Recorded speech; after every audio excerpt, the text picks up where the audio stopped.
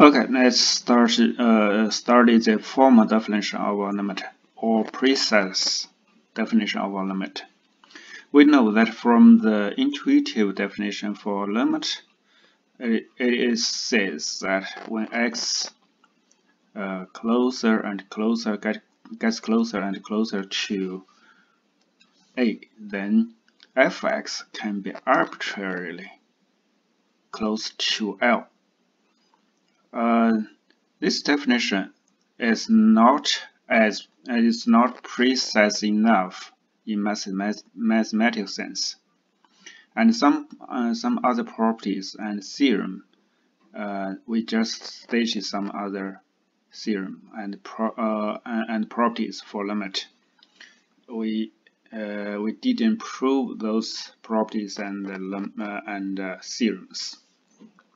But if we uh, use the formal definition of a limit or precise definition of a limit, then we can prove those properties. Uh, first, uh, let's uh, state the definition of the, uh, the formal definition of a limit.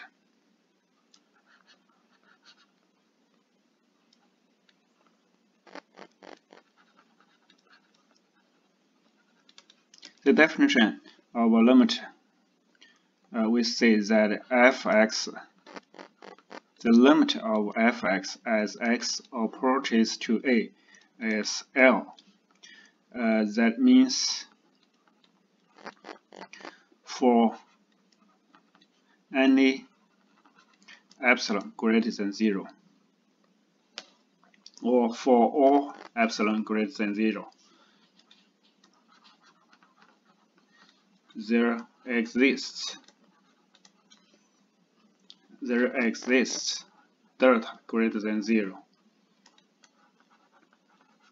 Such that.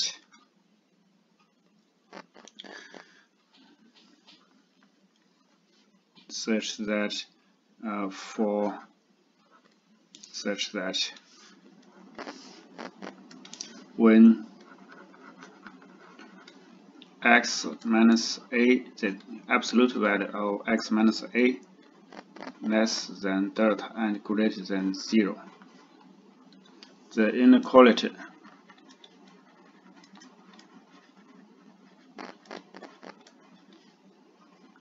fx minus l the absolute value of x minus l less than epsilon holds.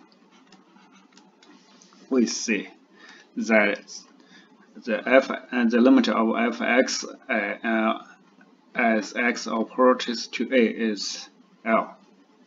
Or uh, we can use the abbreviation mm, in mathematical symbols.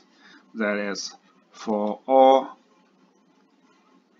this symbol means for all epsilon greater than 0, there exists delta greater than 0 such that.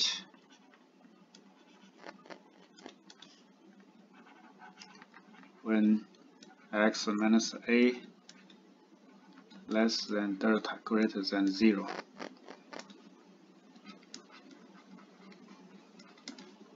fx minus l less than epsilon holds that's the uh, formal definition. Uh, this definition um, is difficult to understand at the first first time because there's many symbols and uh, mm, numbers here and all are inequalities. Actually, actually we can interpret this definition use the intuitive definition of the limit as understanding. How to understand of this of this definition. Uh, from the intuitive definition of uh, limit we see that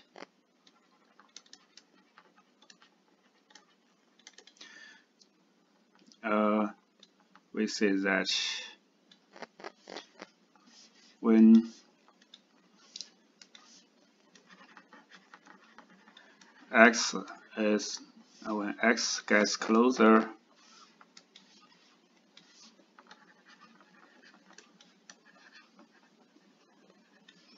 and closer to a fx gets arbitrarily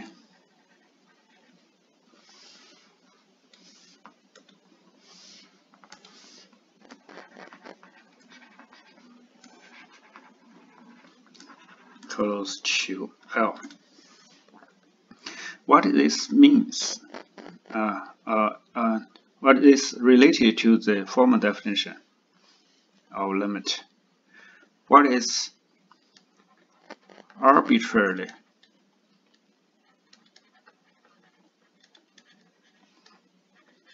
close to L.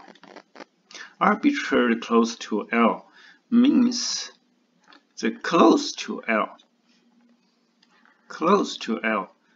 The close, that's the, the uh, distance. That is fx, the distance from fx.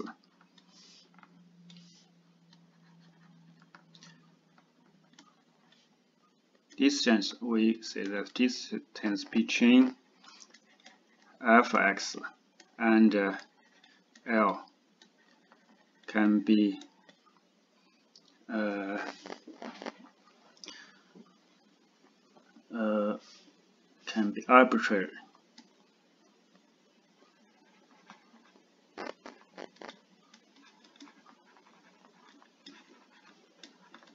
Small.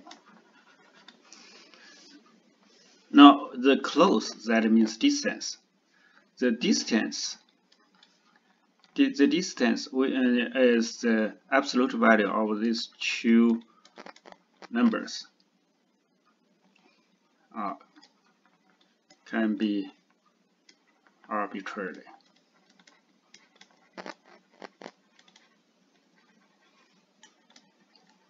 Then how to uh, inter interpret arbitrary small in mathematics in mathematics the language the arbitrarily small.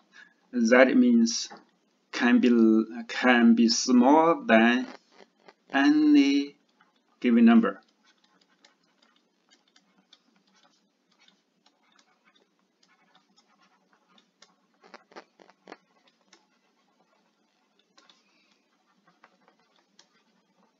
Any given positive.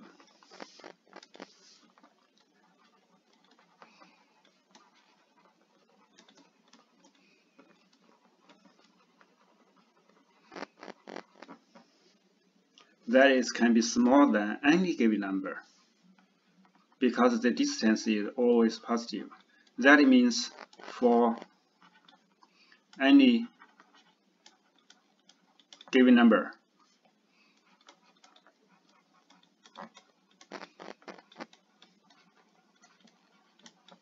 that's the the second part of the, this definition the arbitrarily close to L, that, that means the distance is the distance can be smaller than any can be smaller than any positive number.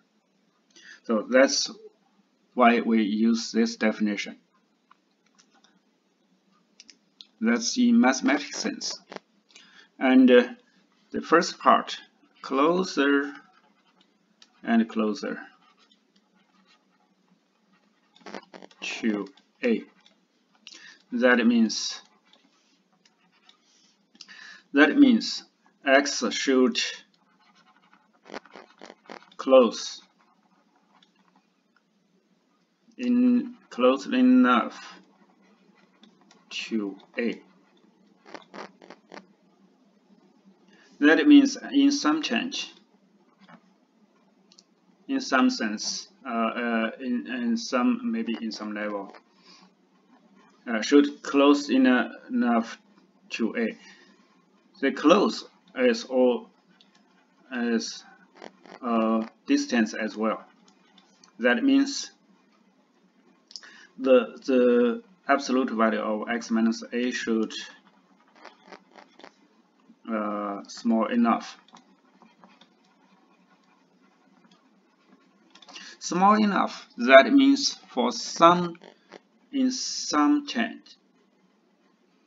Uh, that means uh, for some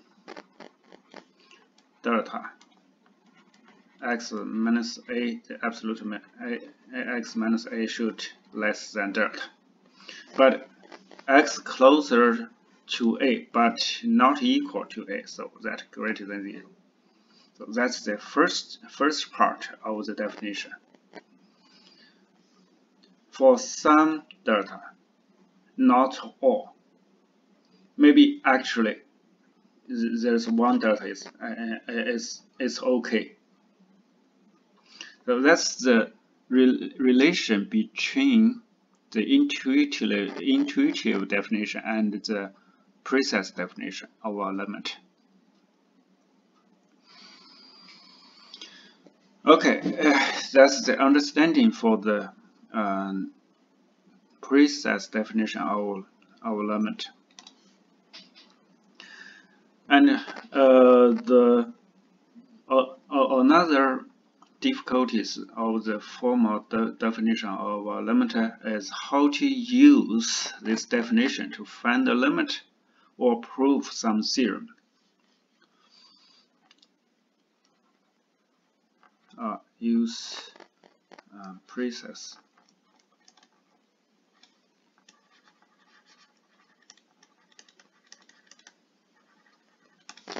to prove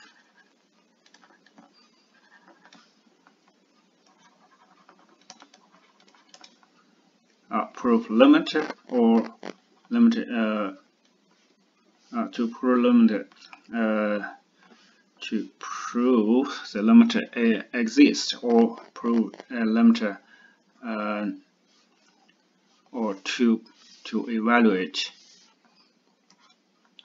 or to evaluate limit.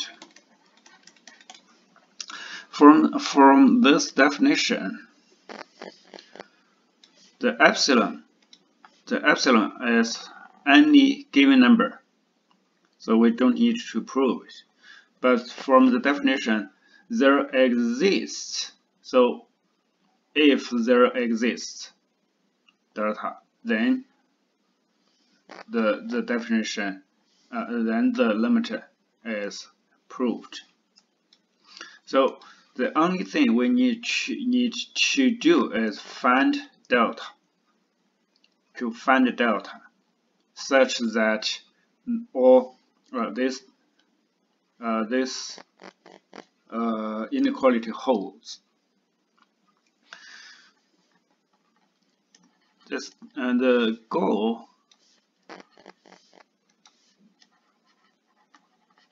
is find delta such that fx minus L, the absolute value fx minus L, this holds.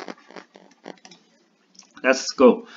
If we find the delta, then the the uh, uh, and then uh, the proof uh, the, the proof is complete.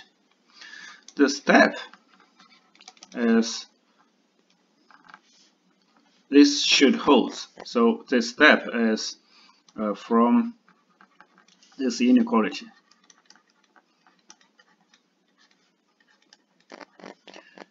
From this uh, from this uh, inequality to find another inequality. x minus a is absolute value of x minus a should less than something.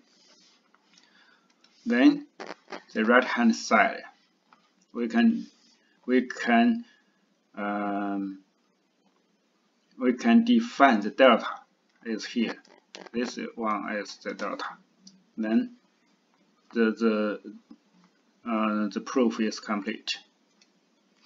So we always start from the from this inequality or start from start from this inequality, then we uh, use that maybe uh, change the algebraically expression to some others or use the uh, use other method to to de, uh, to derive this inequality x the absolute value of x minus a less than something. Okay let's see some examples the first one is show that the limit of x, the limit of x squared minus 1 over x minus 1 when x uh, approaches to 1 is, uh, is 2.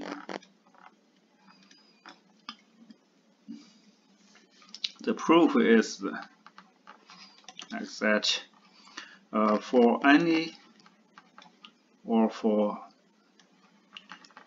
for all for any epsilon greater than 0. This inequality this is L, this is Fx. This inequality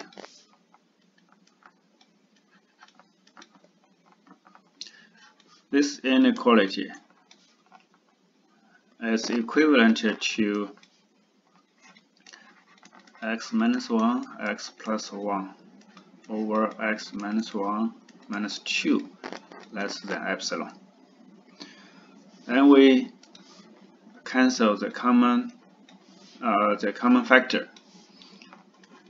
Its inequality uh, is equivalent to x plus 1 minus 2 less than epsilon. And this is equivalent to x minus 1 absolute value of x minus 1 less than epsilon. So we find x minus a less than something. So just let delta equals epsilon. Then we uh, uh, state the uh, state the definition of the uh, of the limit. Let the, delta less uh, equals delta uh, equals epsilon. Then when x minus 1 less than delta or and greater than 0 the inequality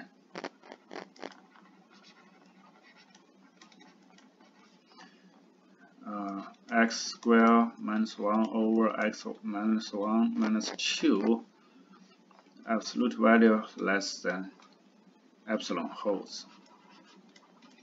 So the limit of x tends to 1, x squared minus 1 over x minus 1 is 2.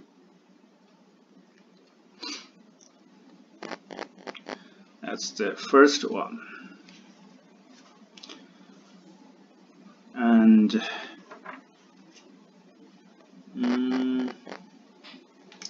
let's use uh, let's get another example.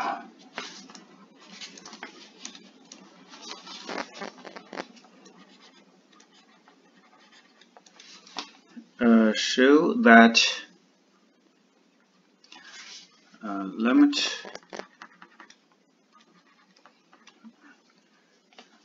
x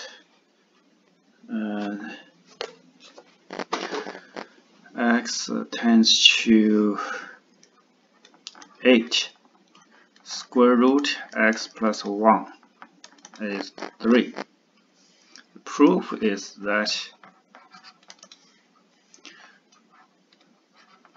for any epsilon greater than 0 square root x plus 1 minus 3 less than epsilon. That is equivalent to uh, there's a radical sign, so we we better to uh, to rationalize to rationalize the expression as square root x plus 1 minus 3 times square root x plus 1 plus 3 over square root x plus 1 plus 3 man uh, that's less than epsilon.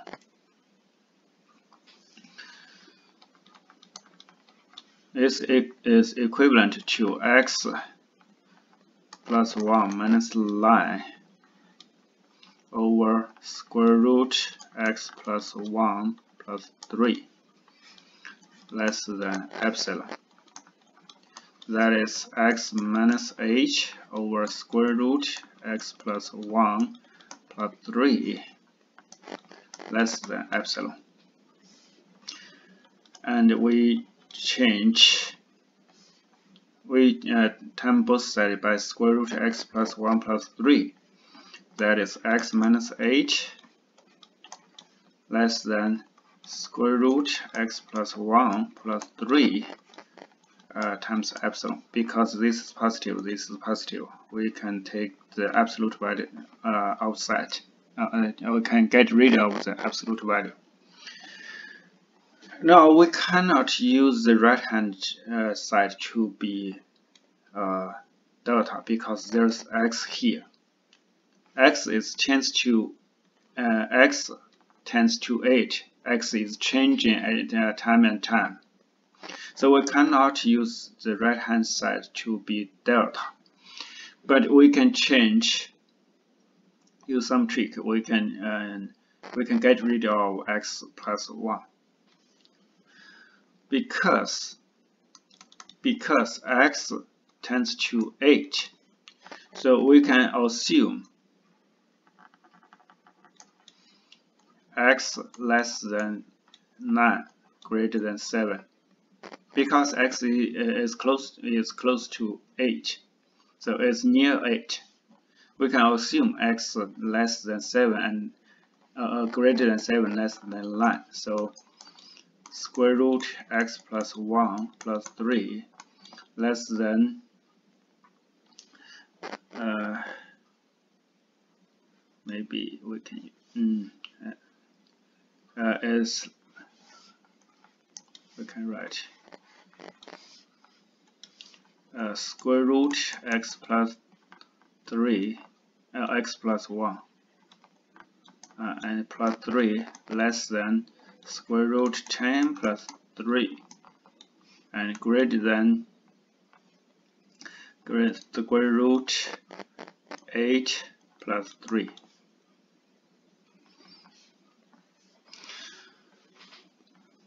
Then we know that. Then if x minus h less than square root 8 plus 3 times epsilon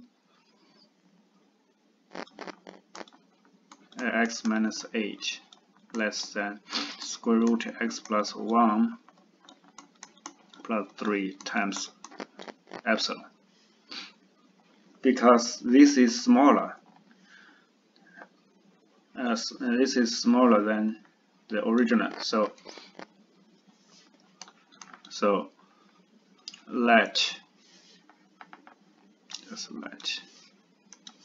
So let delta equals square root 8 plus 3 times epsilon uh, then if x minus h less than delta greater than 0 the inequality.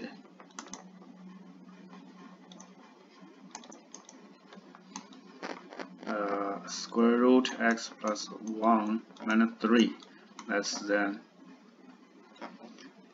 epsilon holds so limit x uh, tends to h square root x plus 1 equals 3. Uh, those examples I use the definition to prove that that a function, the limit of a function is uh, some number.